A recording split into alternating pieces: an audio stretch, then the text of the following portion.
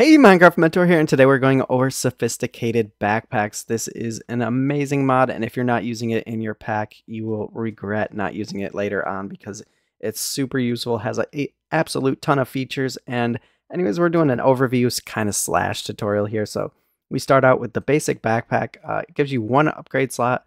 Uh, you can sort your inventory real quick here, and you can search for your items, or not search for your items, but you can organize them by name, uh, count, or by tags. Uh, basic little chest here, three slots, whatever. And then we can upgrade it to iron, which is just the backpack in the center, and you surround it with iron. Gives you a few more slots here, obviously, or doubles actually, doubles it, and gives you two more upgrade slots.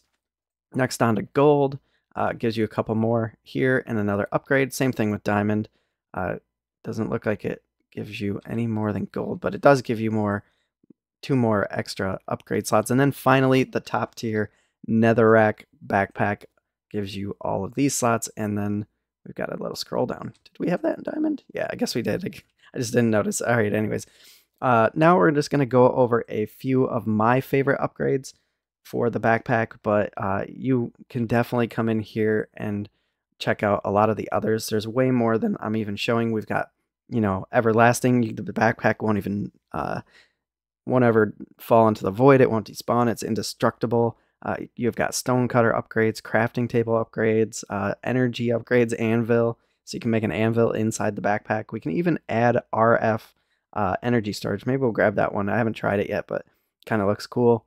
Uh, and it's it's it's turning it's turning that time. Normally I turn game rules off, but anyways, let's check out this one. Here's uh, the tool swapper upgrade. I think this one's pretty obvious what it does, but uh, automatically swaps items players in player's, uh, uh, player's hand for the effective tool.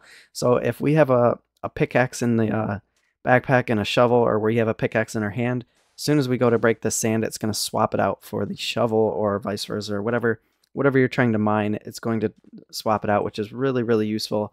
I love this one, one of my favorites.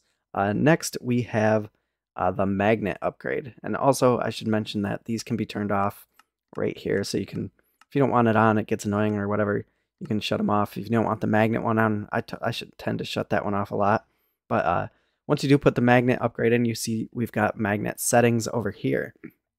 Now we can decide whether we want to block an item or match specific things, ignore durabilities or ignore NBT.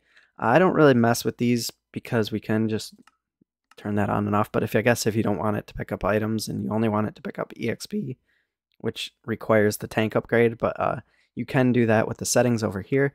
We can kind of display that. Uh, let's block redstone. So if we don't want it to pick up redstone, we just throw this out here.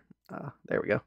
It's not gonna it's not gonna pick it up. But if we do throw out the cobblestone, uh, you can see it pulled it right on in there. Let's get rid of that that little filter. But you can also do uh, match backpack contents. So whatever you have in here, it'll only pick up those items, which is another really cool feature.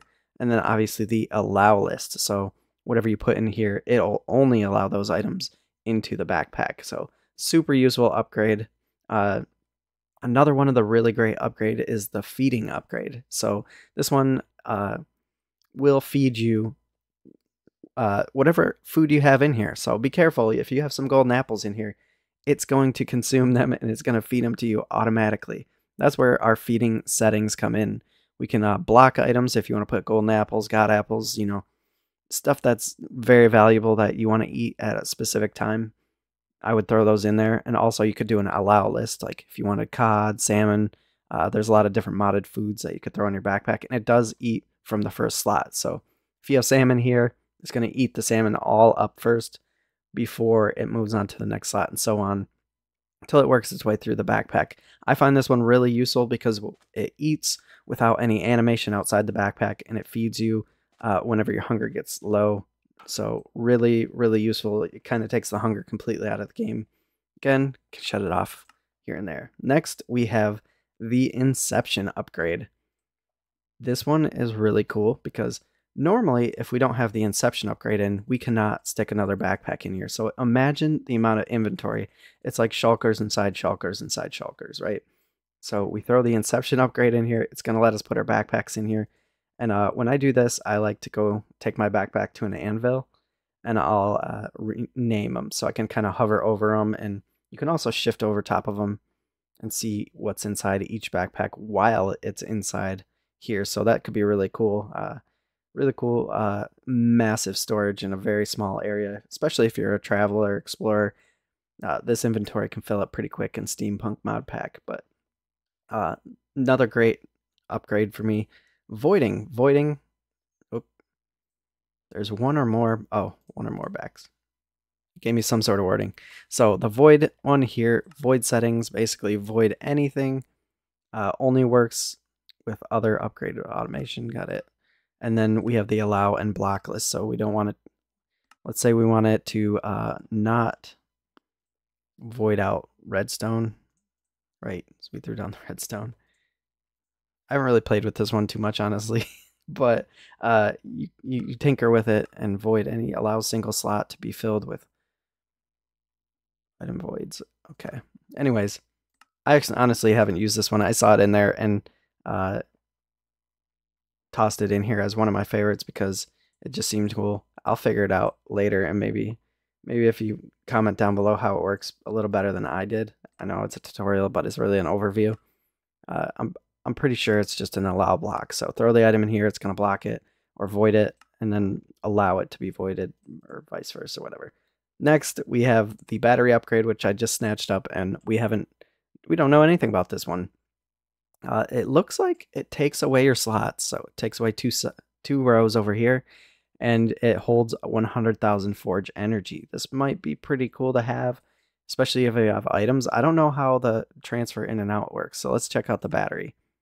Okay, output input. So you could probably uh, input power some way. Maybe you could even run a, a pipe into this backpack and it'll fill it in. I'll have to test that out in Steampunk uh, if you are watching that. And then we have the output, which I'm assuming we can put an item in here and it's going to fill that energy up, especially if you have something like immersive engineering or or an accumulator backpack type thing, it'll fill it up for you. So that's really super cool. Uh, I definitely want to look into this void upgrade. But like I said, there's a ton more upgrades in here.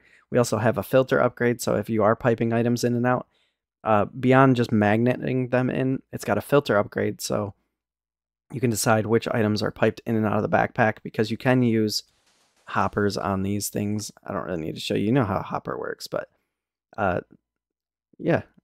Anyways, I think that's pretty much it. You you can even play some music if you like. Let's let's do that as our last one here you throw in the jukebox, you can play it and stop the song whenever you like, which is really cool feature. And that's pretty much it for this one. Uh, you know, I would highly suggest just play around with the with the upgrades, see what you like, see what's useful for you. Because I mean, everybody's everybody's a little bit different, but these these are so far are my favorite. Let's say minus that one because I don't really I haven't played around with it yet, but I will eventually. And uh, that's pretty much it for this one. If you found it helpful, like, comment, subscribe.